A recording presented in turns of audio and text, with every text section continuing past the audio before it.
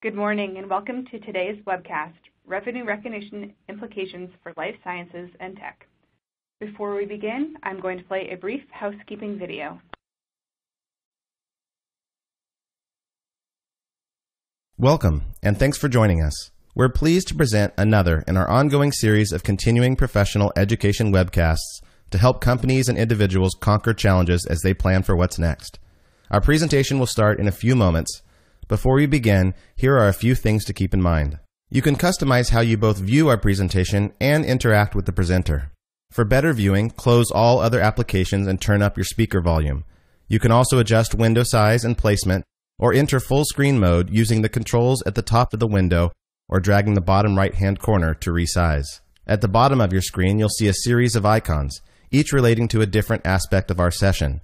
You can download the group attendance sheet and a PDF copy of today's slides from the slide deck and handouts widget to the right of the slide view. You can ask our presenter questions during the webcast by typing a question in the Q&A window below the slide view and clicking submit. We'll do our best to answer all questions during the presentation or follow up via email. If you experience technical difficulty during today's presentation, refresh your browser by hitting the F5 key. Today's session will offer you one CPE credit. To receive credit, you must meet the requirements as specified by the National Association of State Boards of Accountancy. You must attend at least 50 minutes of the session and respond to at least 75% of the polling questions, which we'll ask throughout today's presentation. To respond to a poll, click the button next to your answer. We'll track your progress and alert you when you've earned CPE credit. You can then click the certificate icon in the CPE Progress widget to open a PDF file that you can save to your computer. Don't worry if you can't download your PDF certificate today. We'll email a copy to you in two weeks. If you're attending this webcast in a group, you must complete our attendance sheet to receive CPE credit. The attendance sheet is available in the slide deck and handouts widget. Please have all group members sign it and send only one sheet per group. Also note that CPE credit can be awarded only to participants registered as themselves and isn't available to participants who view the on-demand version. As a reminder, the presentation you're about to see isn't legal, investment, or accounting advice. We encourage you to seek the counsel of a professional service provider to apply this content to your specific circumstances.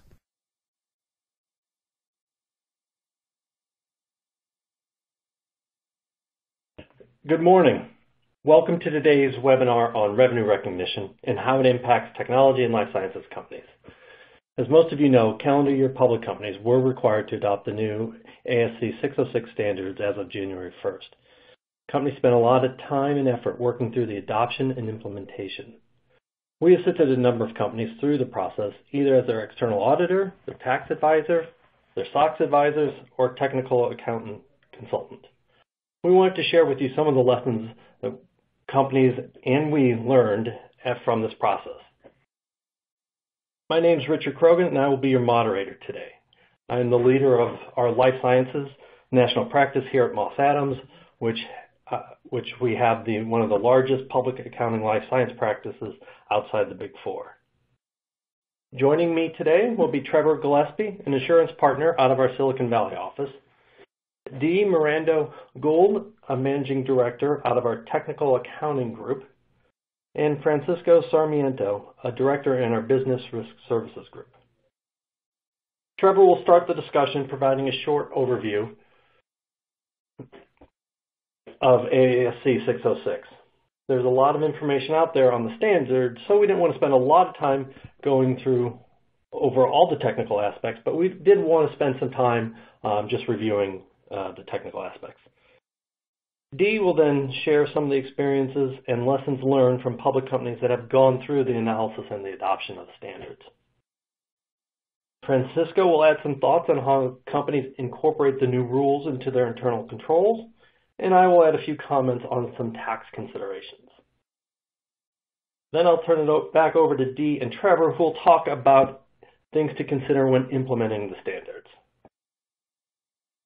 But before we get into the good stuff, we have a few polling questions to make sure that we know our audience. Um, remember, to receive CPE credits, you will need to complete three out of four polling questions. And we're going to start off with two softball questions, uh, again, just to kind of understand our audience. Uh, the first one is, what type of company do you work for? Um, are you a public company? Do you work for a public company, private company? Are you a consultant of some sort? Uh, do you work in public accounting or something else? Uh, this will help us just to make sure um, we know who's on the line. There is a large number of people that were uh, signed up, uh, so we want to make sure we target our comments appropriately. I presume that there'll be a lot of private company people on, but we'll see what the responses are. I think I'm supposed to allow 45 seconds to get everyone to answer, so don't hesitate. I'm going to wrap this up as soon as possible so we can get on to all the um, good stuff we have on uh, plan for this morning. All right. I think I'm going to wrap it up here. Give everyone about five more seconds. And all right, we'll we'll go. So as as we thought, it seems like most of the people are from um, work with a private company. So um, as expected. So I, I, think we're right on target there. Um, so thanks for uh, uh, completing that. And so our second polling question, again, we're going to hit two right off the bat, so we have fewer to do later in um, in the process.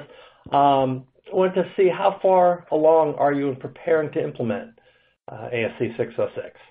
Are you just starting to think about it? Um, or you actually have have you started the planning? Uh, have you have you started the planning and, and are beginning to analyze um, um, how it may impact the company?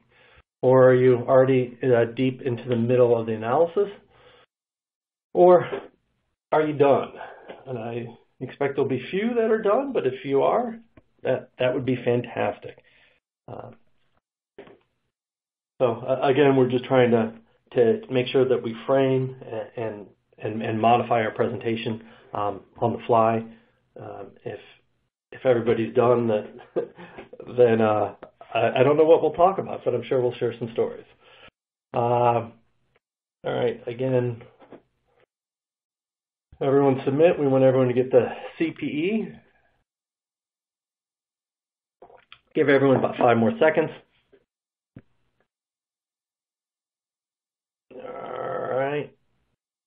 Wrap that up. And yeah, as as as I thought that um, most people are just starting to think about it, or and and some are, are have started, but maybe have, aren't too far along. There are some that are, are done, so that that's good to hear, and hopefully you'll um, benefit from some of the discussions on, on the lessons learned. Um, with that, I'm going to now turn it over to Trevor, who'll start off with a brief overview of the 606 standards. Thanks, Rich. And let me just start off with a couple of overview thoughts. Before we jump into the meat of today's webcast, we want to do a refresh of the revenue standard just to ensure we're setting the right framework and foundation for the remainder of today's discussion. So with that foundation setting goal in mind, I think it's important to first understand what the overarching principle of the revenue standard is, and that is that a company should recognize revenue when it transfers goods or services to a customer and the amount of revenue recognized should represent the consideration that that company expects to be entitled to. This transfer concept really varies from legacy revenue GAAP, which is more about when a company transfers the risk of loss to a customer. Um, so it's a little bit of a paradigm shift. I also want to highlight and underscore that the revenue standard is principles based versus being overly prescriptive, so there aren't bright lines and as a result, the amount of judgment in applying the standard is higher. Uh, in applying the standards personally, I've found that spending time in the background and basis for conclusions has been helpful to me in understanding how to understand and apply the standard as the rulemaking body really tended to show their intentions in those basis for conclusions. So I would encourage everyone to consider utilizing that in your own uh, implementation of the standard and definitely don't forget that FASB has issued five or six additional ASUs that help clarify on certain implementation issues. All right, continuing with our reminder, as I think we hopefully all know at this point, the standard has five basic criteria which are listed here, and I'm going to get into step one right now. Okay, so step one sounds relatively simple when you say identify the contract with the customer, but there are some key things that you want to be aware of that make this just a little bit more intricate than it might appear at a surface level. Customer has its own definition, and if you don't have a customer um, as defined in the standard, you might not be in topic 606 at all. As you can see on this slide, there are also five sub-criteria to step one that have to be met uh, to support that you have a contract with a customer before you can even move to steps two through five. And if you fail to meet any one of those criteria, you'll have to defer any proceeds received on the arrangement until all of those criteria are met. There are no remaining obligations under the contract, or in a less uh, common scenario, the contract is terminated and any fees paid uh, are deemed to be non-refundable that deferral could be an unintended consequence. So as you prepare for an implementation strategy, I think it's really important to make sure you spend enough time in this first step of 606 as there's really a lot under the hood of what really appears to be relatively straightforward. Before we move on, I just remember the term contract also is a broad term. Some companies don't utilize official contracts, so when you're thinking about um, identifying a contract with a customer in step one, think of contract being more broad as an, an agreement between two or more related parties that creates enforceable rights. Okay, moving on to step two, which is identifying the performance obligations. Basically, performance obligations under the standard are promises made in the contract, and they're separate promises. The main point I want to make with this slide, and it really relates to companies that have multiple promises in their contract, is whether or not you can unbundle those promises or do those promises need to be aggregated together. To be considered a separate performance obligation, a promise has to be both capable of being distinct, meaning it has standalone value to the customer, and it needs to be distinct within the context of the contract. All right. Step three, determining the transaction price. This one will be relatively straightforward for some contracts and quite complex for others. The transaction price, as defined in the standard, is the amount of consideration that a company expects in exchange for delivering the goods or services to a customer. And in situations where you're providing discounts, rights of return, variability in the amount of consideration based on contractual terms or, even a significant financing component due to extended payment terms, the transaction price itself will need to be adjusted. So companies with contracts that have these types of provisions are really going to have to critically evaluate those provisions and the impact they're going to have on the amount of transaction price in the arrangement, which then gets ascribed to the various performance obligations, and that takes us into step four, allocating the transaction price. Allocation of the transaction price shouldn't be too difficult once a company's identified all of its separate promises that are considered performance obligations under 606 and then determined the transaction price after taking into consideration the items that we just brought up in step three after that, the next step is then to allocate that transaction price amount to the various performance obligations utilizing a relative selling price method. And standalone here is really the key word.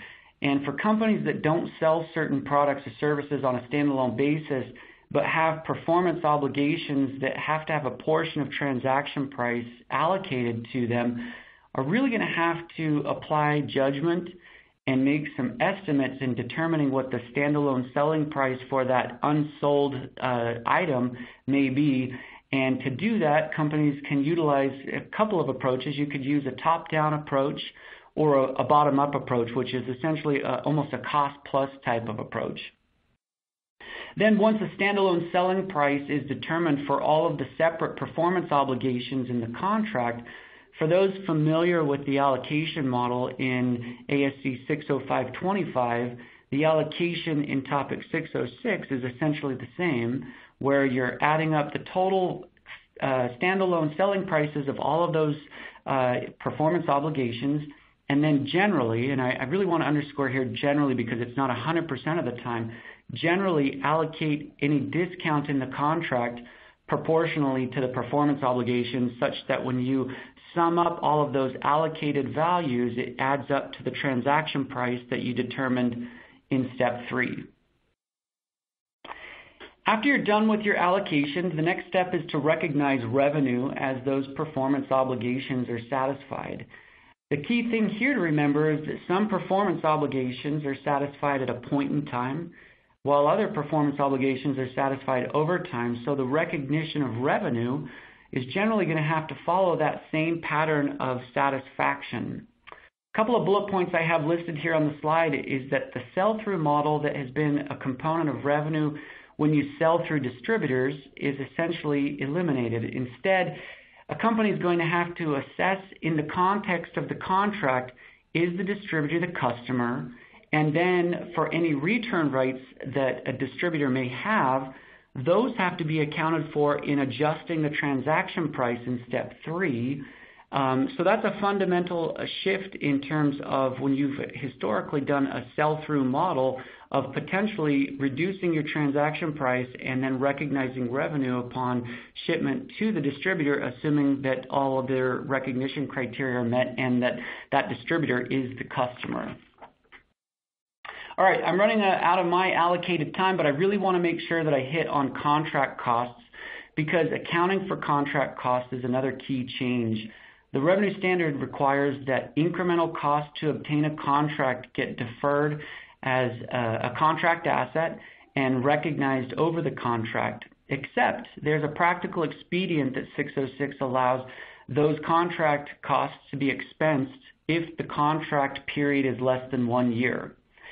So assuming a company has incremental costs and the contract extends beyond a year, it's really important to note that deferring that cost as a contract asset on the balance sheet is not a policy election under 606, but it's a requirement. Most of what we're expecting to be qualifying as an incremental cost for many companies is going to be sales commissions. Um, but I also want to highlight that, that some companies may assess that certain legal fees for preparing and reviewing a customer contract feel incremental, but the standard is pretty specifically specific that those costs are not considered contract costs uh, under the revenue standard, so those don't qualify as something that you would defer. Finally, the costs uh, to fulfill a contract, if they aren't covered by another standard, are capitalized if they relate to the contract and the future performance of the contract. And in this case, think about certain design costs that a company incurs to fulfill a contract, which will be deferred in under 606, contrasting that against costs of things like wasted materials and labor, which are expensed. Okay, so that was a brief overview refresher. Again, just to set the framework and foundation for the rest of this uh, discussion, we're going to jump into one more polling question before we get into the meat of our presentation. And with that, I'll turn it back over to Rich. Thanks, Trevor. That was great. Um, so um, now, so so polling question number three, don't forget to answer. Have you been following what public companies have been doing? Have you been pulling up their their their Qs or their their Ks and and looking at their disclosure and MD&A discussion? Um, uh, have you been listening in on webinars or reading articles? Um, want to see how actively people have been following um, uh, discussion um, of, of the adoption and implementation of the standards. So pretty simple. Yes, no, and somewhere in the middle, somewhat. Um, again, we it's a pretty straightforward question. Hope we want everyone to answer. Um, so we'll give everyone uh, about a total of 30 seconds, and we're probably about halfway through that. Um, uh, again, I'd like to remind um, all participants that if you have any questions, uh, don't hesitate to use the Q&A tab. We will be monitoring it. I did just click on it. and I see a number of questions coming in already. So well, we'll either try to get to them um, during the next uh, during the various breaks at the end, or uh, via direct um, answer, um, and then afterwards we'll we'll provide provide all the uh, questions and answers to to all participants. All right, so wrapping up the polling question. So there's about 70% of you that have been following it, so that probably ties in pretty closely with the public company audience. Um, and then the rest is kind of split. People have, not followed it for, whatever reason. They have a full-time job already, um, and no need to get ahead of themselves. But um, anyway, that's kind of, I guess, what we expected. So that's good to hear. And with that, I'm going to turn it over to Dee, who's going to talk through some of the lessons learned from the public company adoption. Thank you, Rich. So I'm going to jump right into lessons learned here um, from my various assessment and implementation projects with public and actually private companies on 606. The top point here is don't delay. You may think that you have a lot of time. So if you're a calendar year company and you have to adopt in 2019, but you don't have to issue your annual financial statements until sometime in 2020, you know, maybe March, April, May 2020. That sounds like a couple of years of time still to get through this. But from public company experience, this takes longer than people expected it to take, even if your revenue doesn't change significantly. Uh, the amount of time it takes depends on the complexity and the diversity of contracts you have, even the volume of contracts you might have to look at. You also have to document your judgments and your conclusions. So even if you don't have a change, your auditors are going to expect to see the documentation and the analysis around the implementation of the new standard you have to prove essentially that revenue doesn't change. So thinking about it, when you say something's immaterial, your auditors are always going to ask you, well, how do you know it's immaterial unless you've done something around that? Same kind of thing here. You really have to document why something's happening a certain way. And then the cost to acquire a contract may very well change even if the revenue doesn't. So typically in life science and technology companies, you pay sales commissions. And it's not just sales commissions. You know, Trevor touched on the cost to acquire a contract, but if you're paying bonuses to executives and those bonuses are based just on revenue, those are costs to acquire a contract, even though they're not tied directly to a particular contract. The, the transition uh, resource group of the revenue project was very clear. Bonuses, stock-based compensation, performance-based stock-based compensation awards that key off of revenue are going to be cost to acquire a contract, and it doesn't really matter if they're just salespeople or what the title of the people are. It's still cost to acquire a contract. So that's something that for people to be thinking about. Don't leave your financial statement disclosures to last. And this is something that I think a lot of public companies really struggled with because the assessment and the implementation may have taken a long time, and then all of a sudden they're looking at the disclosures, and the disclosures are significant. So even if revenue doesn't change for you, your disclosures are likely, very likely to change disaggregated revenue, you have to um, disaggregate by, you know, maybe by uh, customer, maybe by contract type, maybe by geographic, maybe by product. So there's a wide variety of di- potential disaggregation. Contract balances, contract assets, contract liabilities, receivables, you have to do a roll forward of those. You have to document significant judgments, talk about your performance obligations, and you know, when those performance obligations are satisfied, you know, significant payment terms, obligations for returns, refunds, you know, types of warranties, all of those things have to be disclosed. You also have to talk about your accounting policies, and there are new accounting policies that are going to come through with this standard. And you have to talk about the effective date and the transition, the actual impact on your financial statements showing the line items that are changing because of the adoption of this standard.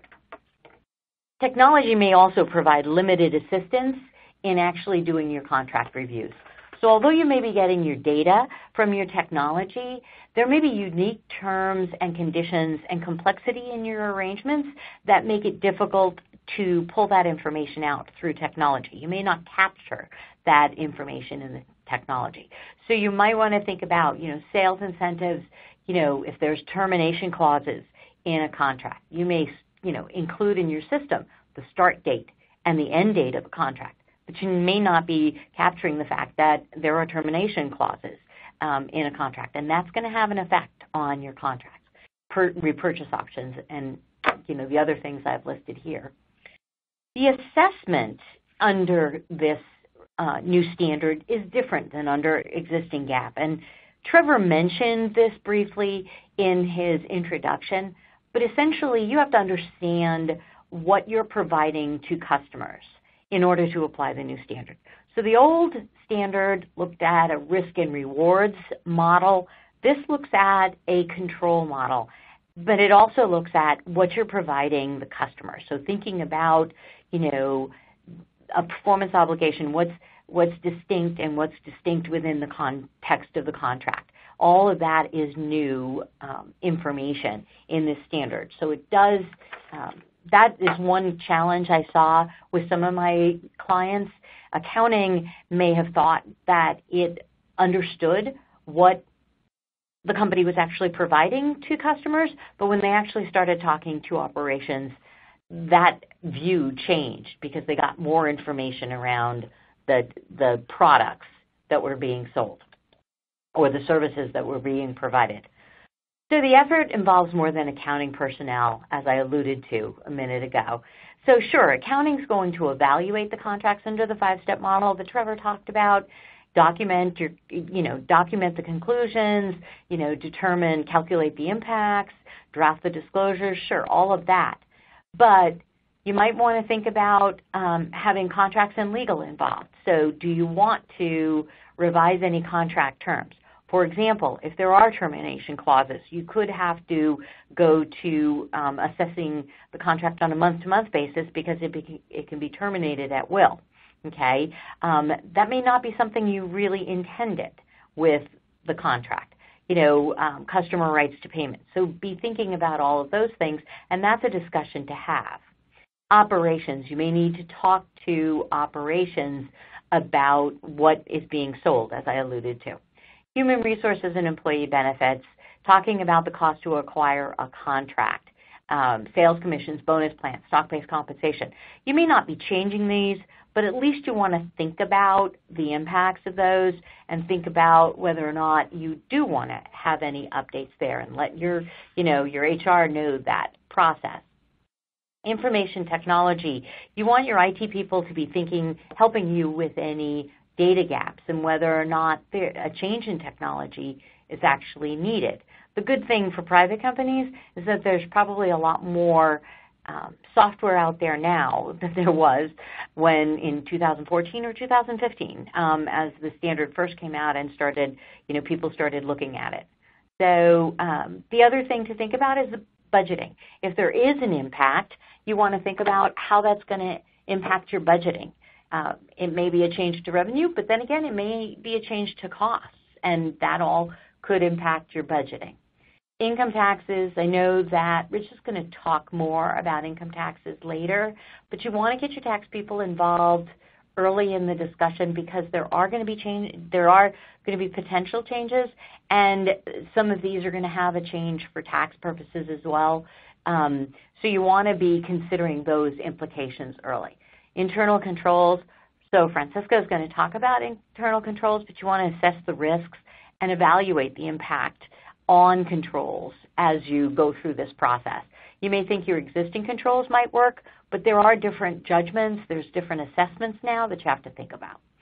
Governance. You want to talk about, you know, you want to make sure you're communicating with your stakeholders, the people that use your financial statements. So be thinking about you know, who needs to understand what might be happening and have those discussions, those communications as you're going through this process. This assessment and implementation may take outside support, and this may be somewhat obvious. So most companies don't have access employees just sitting around waiting for special projects to pop up. Employees have their day jobs. And so this is a big addition to the process when you um, have to add this standard. So they may not have the time, employees may not have the time, and then they may not have the expertise. Really what I learned about this standard is you don't really know what you don't know until you start working through things. Um, it's it's a real eye opener. So training, just learning online, is you know um, is helpful, but really digging into it is going to be really really important. You may also want to think about a dedicated project manager, especially if you have a big project, because this takes um, time. Um, and so I want to make sure that that um, that you understand that keeping the project on task is important so that you don't fall behind. Okay, and last couple of points here. Educate your employees. You're going to need to um, turn this over to your employees on an ongoing basis. Sure, you might use some outside help and you might have the initial assessment and the implementation, but you need to make sure that your employees are going to be able to carry this forward. So you want to make sure you educate and train your, your employees as to how things are affecting your company under this standard. And then coordinate with your, your auditors early. The earlier you do that, the better off you're going to be. I think public companies had a little bit of a challenge with this because their auditors were still learning, but now um, the auditors are already up to speed to some extent on the standard, and that's a good thing, and that's going to help, and so they'll talk to you. And this helps you avoid rework.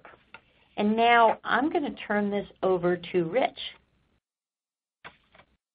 Thanks, Dee. Um, so we've already had a number of questions come in, so that that's great. Keep them coming. I don't know that we'll get to all of them, but we'll uh, we'll highlight a few of them um, and and then respond to the group. Um, so Dee, we'll start off with one to you. It's, the most recent one that I saw that comp came in. I know you just got done. But what about a small company undergoing their first, their first audit adopting from the start? Any pointers? Anything to especially consider there? Um, that's a that's a good question. If you're going through your first audit, you know, pull your auditor in um, really quickly in the process. And I think since you're going through your first audit, I think your auditors will be very happy to have that collaborative discussion. So when you're going through, we'll talk about implementation, but when you're going through the scoping um, and talking about, you know, portfolios that we'll talk more about later, I think bringing your auditors in really early is a really important process um, so that you don't do more work than you need to. You just do enough to get your auditors comfortable. Thanks, Dee. Uh, another question that came in, um, what if bonuses are tied to EBITDA? Would that flag the requirement to recognize over the life of the contract? Trevor, what are your thoughts? So I think when you look to the, term of incremental costs to obtain a contract, if you have EBITDA-based bonuses that have already been um, kind of um, agreed to with your employee base, those would not be qualified most likely given the fact that they're not incremental cost to obtaining a contract. They're, they're ultimately tied to a different financial metric. So you wouldn't have to evaluate those uh, necessarily those EBITDA-based bonuses for deferring as a contract asset. You know, Rich, I'll just add something to that, and I agree completely with Trevor. This is Dee again. Um, that is one way some companies have been able to get out of um, uh, adding bonuses, for example, to cost to acquire a contract. If they tie those bonuses to something more subjective, um, so to um, to multiple criteria. It could be revenue, but it could be other soft performance based. And if you don't put certain percentages on it, that can pull you out of having those costs specifically tied to a contract. Excellent. Thanks. Um, I'll do one more here, and this one's somewhat interesting, and I'm interested in, in knowing. What if the contract is exactly one year? Do these rules apply? I'll, I'll jump in and answer that. I think if you've got a contract that is exactly one year, I think the question is probably stemming around do you capitalize or expense um, those contract costs that are considered incremental? Well, one, you can adopt the practical expedient that allows you to expense those, or if they're direct and incremental, you can apply 606 and defer those and amortize those over a one-year period. So you've probably got an option there. There is no absolute requirement to expense uh, incremental costs under the 606. If you have incremental costs and they are extending over a contract that is more than one year, you have a requirement to defer those as, as an asset. But if they are 12 months or less, you can adopt that practical expedient to expense them. Thanks, Trevor. All right, now we're going to um, continue on with the rest uh, of the presentation. Continue to use that Q&A, and at the end, we'll, we'll uh, try to address some more questions, or as I mentioned, we'll uh, write them up and, and, send them out to the group. Um, with that, uh, I turn it over to Fran Francisco to talk about um, internal controls. Francisco. Yep. Thank you, Rich. Um, so we'll now move on to the internal control considerations of our presentation. Uh, as Dee mentioned earlier, one of the area that management should pay attention to as part of the 606 adoption process are internal controls. It is quite important for us to take a look at those areas as well because there are specific considerations and circumstances that can increase the risk of material misstatement with any new standards adoption. You know, given that revenue is generally assessed as automatically as a high-risk account as part of the audit, the adoption of new revenue standards and the considerations around it makes it a major focus during the audit. And this emphasizes the need to have effective internal controls during the entire adoption process. So when we're establishing internal controls for the 606 adoption, management would need to identify the key stages of the adoption process. The first is the accounting policy revision. Second of the stage is the revenue stream scoping and identification. Third is the contract selection and review. And finally, the calculation and disclosure of transition adjustments. It is important that management evaluate the risk of financial or disclosure misstatement at each stage of this adoption process, as this would allow management to identify the appropriate internal controls to put into place. So the identification of controls during this adoption process is not different for any control assessment process in place. You start with identifying the risk relevant to the company. In this situation, what's the risk related to the 606 adoption, 606 adoption related to the company, and then identifying what are the risks related uh, and controls that could address those risks. So for the accounting policy revision, there is always the risk that the company's policies and procedures may have not been updated to reflect the new standards or that the policy that management creates does not reflect the actual contract terms and conditions. In terms of revenue scoping and identification, the risk would depend on the company's approach as the scoping risk is different between the modified retrospective or the full retrospective approach. So management will have to tailor what is their approach and what's the risk related to that approach. It will be affected uh, by the approach for reviewing the contract as well, which can be done fully or through a sampling method. The biggest risk here is not having a complete population of the contracts or assigning a wrong contract to the wrong revenue stream or unique contracts that may fall out during the scoping process. Management will need to ensure that all types of contracts have been considered in the scoping and each of the contract scenario have been considered as well. This is an area where management can trip up and therefore appropriate internal knowledge or outside help will be needed. As Dee mentioned, there are a lot of players involved in this process, so it's really important for us to make sure that when we're uh, doing this stage of the process, we involve all of the players to know what are the, all the risks that can be uh, applicable during this adoption process. Finally, in terms of calculation and disclosures, there's always the risk of error in the calculation and disclosure, and thus it is important for management to have adequate safeguard for this risk by ensuring that all of the calculation and the related disclosures are prepared by a competent person or a third-party service provider, and that the reviewer have appropriate procedures in place to test the calculation and disclosures for accuracy and that the reviewer have adequate technical knowledge to challenge the calculation and disclosures to provide, uh, meaningful review. I think the, the biggest uh, risk here is management relying entirely on a third party or another person to do the calculation. So with any internal controls, the responsibility lies with management. So somebody in management needs to have that adequate knowledge to provide a meaningful review of all the calculation and disclosures, even though we hire a third party to, to help us with this adoption process. So once all the risks related to the 606 adoption stages are identified, management will then need to ensure that appropriate internal controls are in place to mitigate those risks to prevent or detect financial misstatements. When establishing internal controls, there are several key considerations that we will need to address. Management should also need to ensure that appropriate combination of entity level, transaction, and monitoring controls activities are in place during the adoption process. For entity-level controls, management will need to ensure that the accounting policies were reviewed to verify compliance with the new standards and that the team involved in the adoption, either employees, contractors, or third-party service providers, can competently perform their duties.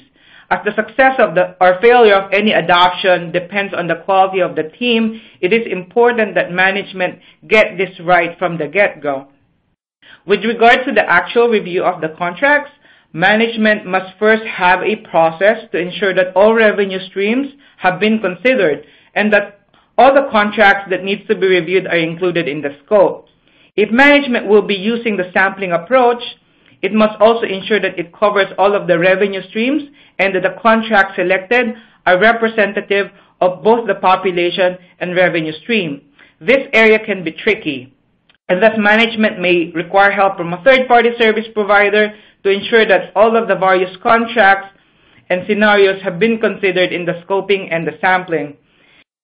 In our experience, this to be a, an area where proved to be its most challenging and time-consuming for management because uh, ensuring the completeness and accuracy of the contract information takes a bit of time. Either it's due to the lack of central contract database where you can get all of your contracts in one contracts in one place, or there's a lack of tracking mechanism for uh, modifications to the contract. So you may have a contract in a contract database, but if there's no way for you to track changes in that, uh, contract during the, those years, then it will be it will prove difficult for us to make sure that all the contracts that we will be evaluating uh, is accurate. So with regard to the calculation and disclosures, management should also ensure that the transition adjustments are accurately calculated and that complete disclosures will be made. As you may see, some of the rest may only be present during the adoption period, and therefore the related controls require only one-time operation. Therefore, management will only have one chance to make sure that the controls are working effectively the first time they're done. And that's why we're emphasizing the need to make sure that all the controls have been established and designed appropriately uh, uh at the first time it's, it's done. In our experience, management at times focuses too much on the end goal and forgets that it's important to have internal controls at each step of the process to ensure that things are done correctly and in accordance to the standard. Also, management will need to consider evaluating the overall control environment immediately after the transition, as we expect that there might be some changes in the process uh, with the new uh, revenue standards. Uh, adequate internal controls have to be designed on those new processes as well, and management will need to make sure that it's considered as well moving forward. And with that, um, I'll turn our presentation to, um, to Rich, who will cover the tax considerations. Thanks, Francisco. Um, as I mentioned earlier, and as, Dean also mentioned, I want to remind our listeners to not forget about the tax implications. Um, the tax team and tax advisors will need to understand the details of the uh, 606 analysis and calculations. Um, first, and quite simply, your deferred your deferred tax assets will likely change. As your deferred revenue changes, that ties directly, generally direct directly to your deferred tax assets. Um, also, one of the main points of, of 606 is the transaction price. Um, you know, this includes stuff like discounts, potential returns, variable revenue, and other contract costs. Um, they also include expenses, and, these points of revenues and, expenses are frequently treated differently for tax purposes. So we would need to know all the various components and, and, how they go into um, deferred revenue or revenue recognition. Um, you know, uh, generally the IRS only allows for expenses that are actually paid out within a short period of time, um, but you can also generally ex expense rather than capitalize expenses. Um, so it can go either either way. Um, um in addition, um, to make it more challenging, um, the, the, recent change in the tax law also uh, will impact uh, the tax considerations. Um, uh, and part of it is is reactive, and part of it is, um, and by reactive, um, the, change in the uh, NOL carry forward period uh, for federal purposes. It's now indefinite, so companies might think differently about you know pushing expenses out of 17 and into 18. Um, and, there are ways to, kind of plan around that. Um, and also, uh, the Tax Cut and Jobs Act also um, changed the revenue recognition rules of the Internal Revenue Code. Section 451 now requires income is recognized for tax purposes at the earlier of when the all events test is satisfied or when the amount is recognized in the taxpayer's financial statements. So we'll need to, uh, the tax team would need to analyze um, both those tests um, to determine when it's included in, in, taxable income. Um, also, um, want to talk a bit about tax return reporting. Um, first um, foremost, you know, com companies should be modeling out their current and future taxes. Is there a possibility to get the kind of a permanent tax benefit by, um, you know, a, a, a, you know, front-loading costs or, deferring revenue into 2017 um, and, out of 18 when uh, 18 has a reduced tax rate? So generally, we advise companies to to max to minimize their income in 17 um, when when there's a higher tax rate. Um, uh, and, generally, companies would need to look at their tax accounting methods. So they should be, and there's ways to change that. But it, but because um, you, are changing from, you know, you could change your tax accounting method at 17, but your um, your GAAP methods may change for for finance for 2019, you got to figure out how how it would look in 2017, 2018, and 2019. So you need to consider um, multiple years and the implication, um, the tax implication on those years. Um, and the IRS just released some new guidance um, this week um, on some automatic tax accounting method changes to assist taxpayers. Um, so this is very timely to, think through. Um, some other considerations, uh, they're a bit bit removed, but because the revenue is going to be changing on tax returns, um, your state apportionment might change.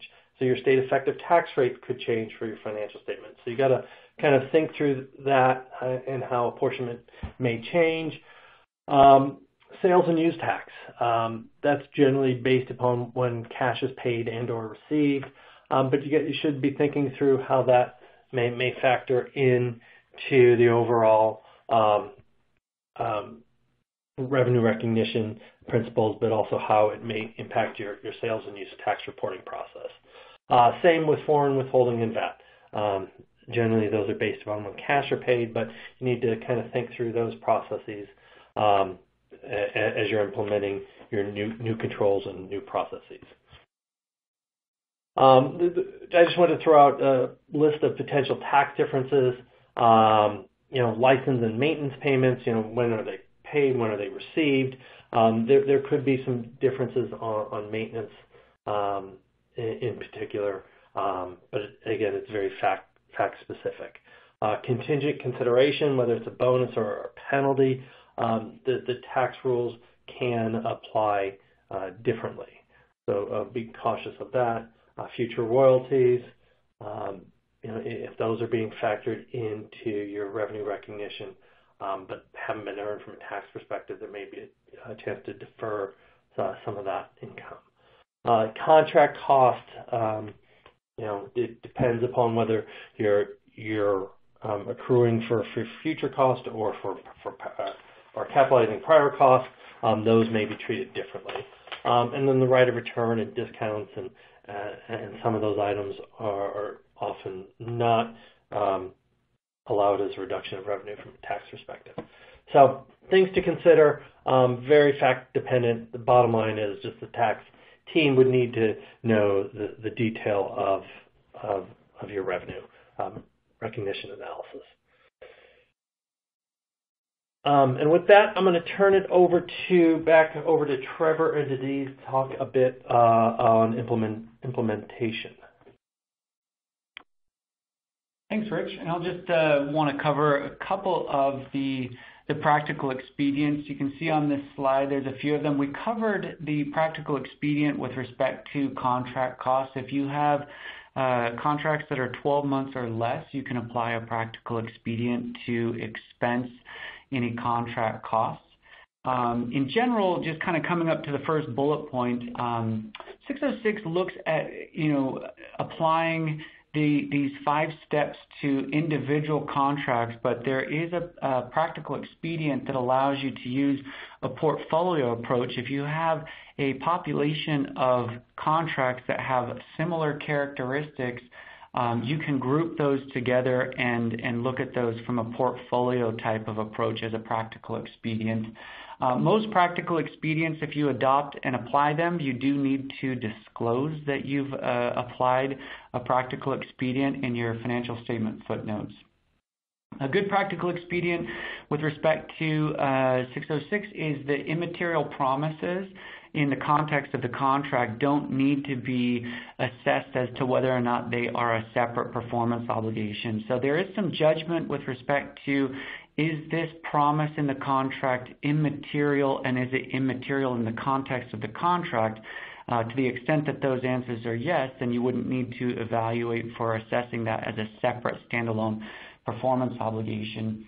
Um, and then there's some practical expedients with respect to the adoption of 606, the very first date of adoption with respect to in-process contracts on the date of adoption. The, the point here is really making sure that you're aware of there are the, the general rules in 606, and then there are practical expedients that can be um, helpful in adopting and implementing and then on an ongoing basis applying topic 606. So with that, I'll turn it over to Dee uh, to talk about implementation strategy. Thanks, Trevor. So I'm going to make this, um, try to keep this short because we have another polling question and I know we have some questions we want to try to get to. So we've done this in phases, you know, the initial assessment. So some of these are pretty obvious. I think in phase one, where I want to focus mostly is um, thinking about the scoping, thinking about your um, looking at your revenue streams, understanding your you know your contracts, and putting them into as Trevor talked about into portfolios with consistent terms. So looking at a portfolio that has, you know, the same revenue stream, the same time, the same contract terms, so that you can look at um, a minimal number of contracts in that portfolio and then say, okay, my conclusions apply to everything else. Obviously, when you do that, you have to pull out the things that have non-standard um, contract terms but some non-standard contract terms might not have much of an implication. So, for example, if your standard terms say, you know, you, um, your payment is net 30 and you change that for a customer to net 45 or net 60, that in and of itself wouldn't have an impact for the standard, especially if it doesn't change your assessment as to the collectability being probable under the contract. But you have to still identify those. And then you know, making sure that um, that with that scoping, you've talked to your um, your auditors. They agree with those portfolios and what you're looking at in those portfolios as far as the number of contracts to look at. Um, you know, and then you need to pull your your resources and think about the controls as we've already talked about. You know, you document your controls, and then in in phase three is where you really perform the contract assessment. So I typically do this with a um, with looking at the the um, an initial assessment, so maybe picking one or two contracts from each of those portfolios for standard terms, maybe looking at the non-standard term one separately, and then talking with the auditors. Um, it's likely you'd have to do an expanded contract analysis. How many contracts in that expanded analysis um, really is going to depend on, you know, how many contracts you have and what your auditors are going to be comfortable with and how standard your terms are. Um, and then you want to document your rationale. This talks about documenting um, your work in a technical accounting memo. Those memos can get really long. I've written memos that have gone up to 80 pages for a 606 assessment, and that is really long for someone to read. I actually prefer, if you're doing contract analysis, that you actually look at the um, contracts, um, do a, a checklist or questionnaire for a particular contract, document all your conclusions around the five-step model and the calculation of what might change, and then you can do a summary memo that's nice and short that pulls everything together for all of your portfolios. And that's where I'd be thinking about. And I'm going to turn this over to Rich for the um, polling question. Thanks, Steve. All right. So this is the fourth polling question. We need everyone to respond, uh, or you need to respond if you want CPE credit. Um, and when do you think your company will be ready? Do you think you'll um, be ready in, in, Q3 of this year? Maybe maybe start testing, or maybe um, working with your your auditors, having them pre-review it. Um, do you think it'll be later in the year, in Q4 sometime? Um, do you think it'll be um, roll into next year that get your hands full of just wrapping up this year and you'll get at it when preparing for the audit next year, um, or uh, Q2 uh, of 19, um, as many of you are, private companies, and, often that's when, when the audits for those happen, or will be sometime later. I'm just kind of curious, just kind of lay out the time frame of, of for you to what to expect and when you'll be um, hitting it. Okay. All right. So give everyone a few more seconds to um, answer the question. All right. It looks like it, it's fairly uh, fairly spread out. So um, with with most people, um, you know, at private companies, um, I, I, guess this is um, this is yeah. I guess what, I would expect.